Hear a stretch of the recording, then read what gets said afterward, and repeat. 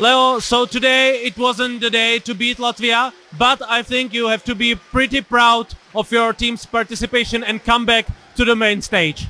Yeah, of course. I think yeah, last in the last campaign in Canada we played in the B division, and then we made it to the finals and we won. And so this year we can play here, and I think we had a really good game against Denmark. The first two games were a little bit hard, um, but yeah, today uh, is really not the best day. So uh, we thought we can we can do a much better job today, but it wasn't that good. What do you think was the main key for this match? Was it the second period when Latvia scored many goals? Uh, I think it uh, started right in the beginning, so we had not the best start. It was very difficult for us to find in in the game and to uh, yeah to come to our performance from the last game. And then in the in the second period, we had a little bit uh, a, bet a better part, especially in the last seven eight minutes. We did a little better job and we had more the ball.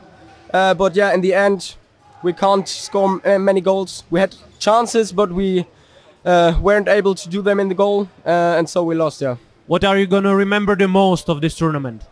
Yeah, I think it's uh, it's it's the fun with the with with my mates, with the team, and of course the atmosphere.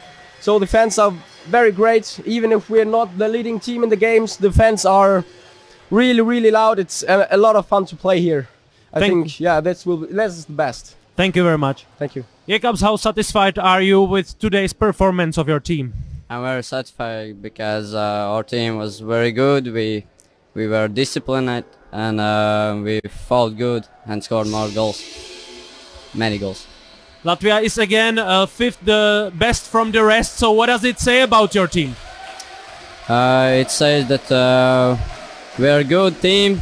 We can fou- uh, fight with uh, top uh, nations, and yeah, What are you the most happy about this match?